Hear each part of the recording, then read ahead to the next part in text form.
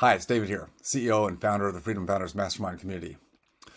We've just come off of a Thanksgiving weekend, uh, the holiday, the time that we are thankful and full of gratitude for all the blessings that we have, and we certainly have a tremendous amount of those blessings if we just even live in this country.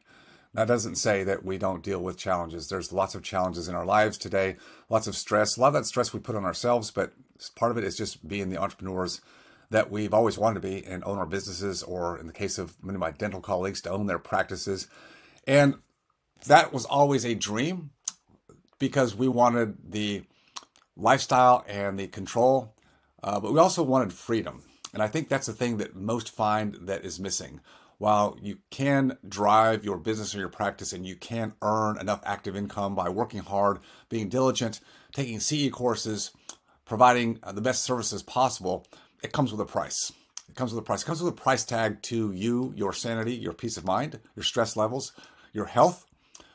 Uh, it comes with a the stress to your family because I can't tell you how many people, doctors who will confide, or particularly their family or spouse will confide that he's a great hard worker and he provides for the family. But when he comes home, he's like a bear, like he just ran a marathon. It's something I've heard before. Is is that's something that we don't consider because I've been there. We don't consider the fact that we may be willing to be the martyrs to do what we think is the best thing for our family, yet our families are suffering and they won't say anything because they love us, they appreciate the hard work. But I don't think they're getting what they signed up for. We hang a flag high because we want to be looked at as successful. We want to carry that load for our families. That's what's put upon us. And yet, at the end of the day, the whole game plan, the whole construct of why we set out to do what we're doing is somehow dismissed off into the sidelines. And now it just becomes getting through day by day and trying to figure out how do we ever exit this this, this hamster wheel.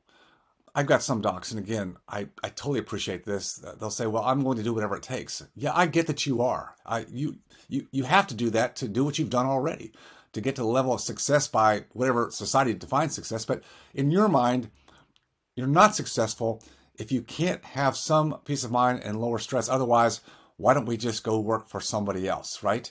When you actually clock out and go home and have the evenings and the weekends to yourself. Nope. As an entrepreneur, as a business owner, we carry that load, whether we're physically involved in the business day to day, the operational, the active income portion, or when we go home in the evenings on weekends or even on vacations, guess what? It's still here. It's always here. It's always on our shoulders. It never really goes away, does it? How can you actually enjoy the journey without burning yourself out when you're in your mid 40s or 50s, or certainly people by their 60s have just about had it? Yet they can't can't talk about that to your family. You can't talk about it to your spouse who they've all been sacrificing in many ways. Yeah, you've got the vacations and you live in a nice home in a nice neighborhood and you probably have good cars and you can put your kids to school. But at the end of it all, was that really what it was about? It's a, it's a decision we have to think about.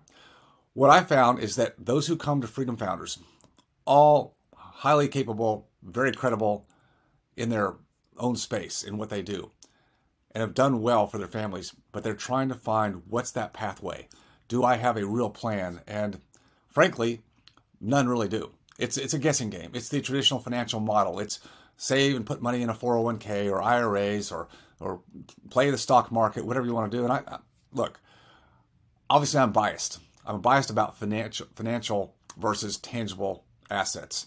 I've always been a tangible asset person, and that starts with your practice. Your practice is a tangible asset. Now you've got the controls of it, but to have the controls, and you have to have the responsibility to be in it all the time, and that's fine during your active income years.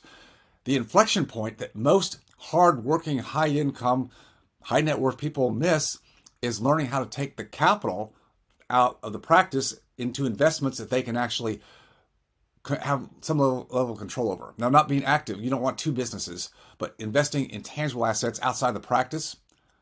I love real estate. You know, I'm biased about that. Been doing it for over 43 years. That's what got me free when I needed to be free when my daughter was sick in the hospital.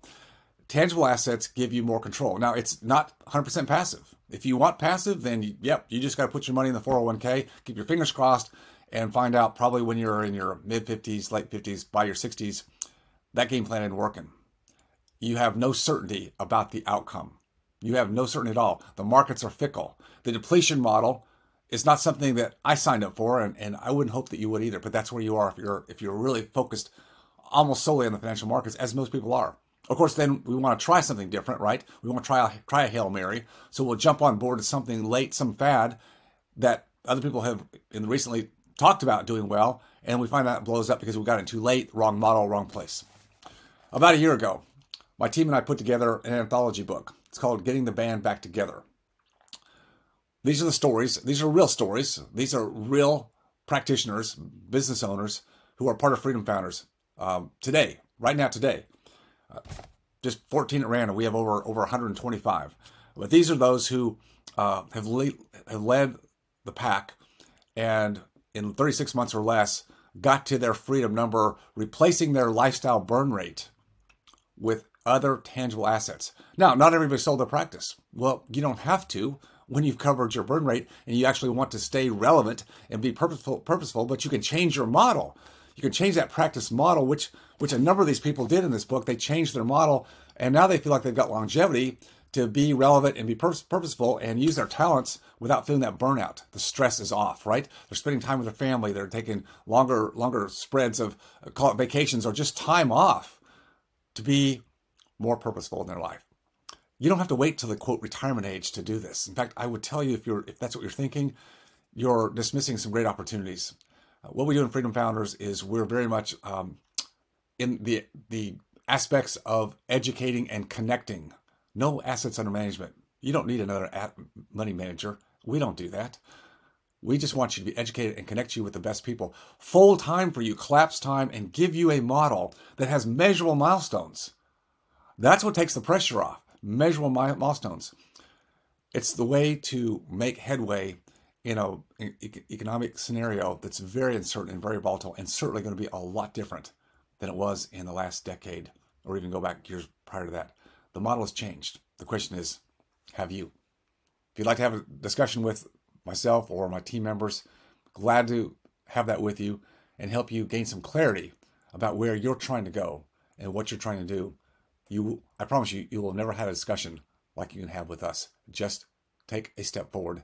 Don't be reticent and put your future off into somewhere in the in the mystical future where you have no idea where you're going to go. It's just a hope and a prayer. Hope to talk to you soon.